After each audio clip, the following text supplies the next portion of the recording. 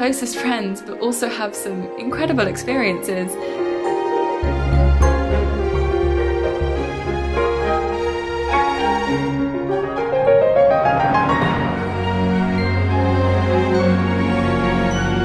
And then using the skill that you've learned to then create something that comes entirely from yourself.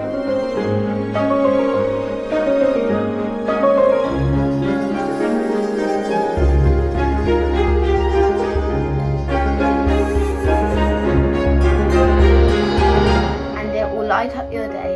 It doesn't matter what age you are, just keep making music.